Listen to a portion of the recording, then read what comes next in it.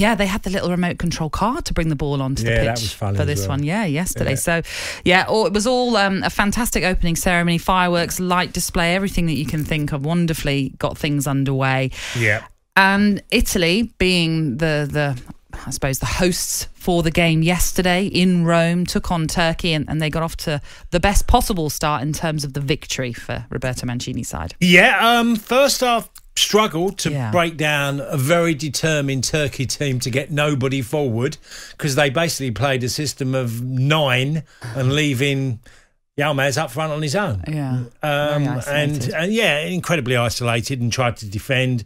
Italy were getting frustrated. The opening goal, obviously an own goal, um, helped Italy's cause. I thought they dominated, maybe a little bit flattering that they ended up winning 3 0, but their work rate of their side was the standout. Um, feature for me because you very rarely see an Italian team. They've always had great individuals. You know, people like Totti, Di Baggio, Zola, many, many others that you could name. Um, but that was a real, especially in the forward areas, because Berardi, Immobile, and obviously um, Insigne, uh, who got the go- two of them got goals. Their work rate was incredible, and that to me was the standout feature. Really was. Just in terms of the pressure that Italy would have been on going into this game, because it was the first game of the Euros tournament in front of some of their fans who were fortunate to be in that stadium.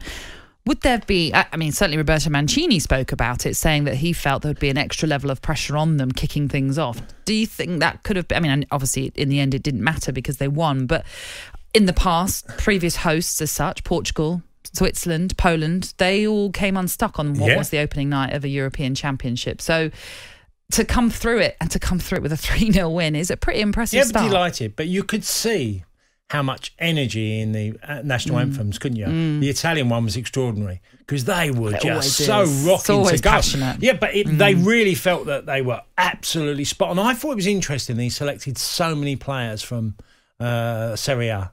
Because majority of that team play their football in Italy. Um, Verratti obviously was injured, but he was at PSG. You could have Jorginho at Chelsea. Um, there's one or two others, but generally it's nearly uh, you know a Serie A team. You know, and he wanted that unity, and and the work rate was sensational. It was just across the board. I mean, watching some of the you know the centre backs drifting into central midfield position to push forward. Um, the one thing that I think, and it's a pity because Turkey looked like they didn't even look fit as as, as fit as they should be. Um, but then if you're defending the whole game, you certainly look tired. But it'd be interesting to see when someone offers a threat to Italy because that was on. The counter was on against Italy, but Turkey just couldn't even get close to counter attack football to them. They were just defending so many numbers deep.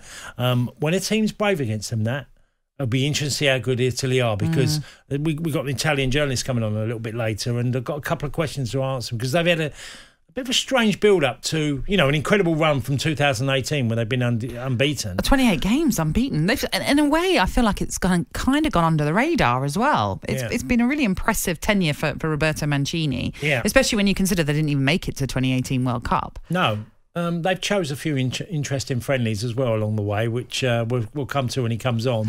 um, but yeah, I, th- I thought they were really good. You can't question second half performance and the goals, the way they were taken, the incredible work rate of a side, which we touched on, and deservedly won the game. And, and a lot of Turkish fans will be really disappointed because a number of people picked Turkey and thought they'd be, you know, a tough nugget to crack.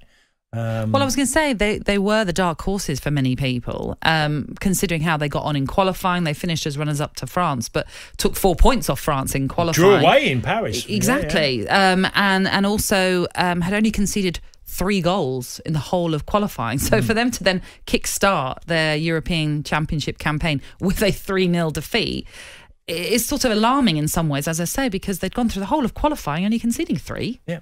I, I don't know. Look, I could see the coach from the sidelines was trying to wave his team to get out, get out, Yeah. you know, get closer, get higher up the pitch.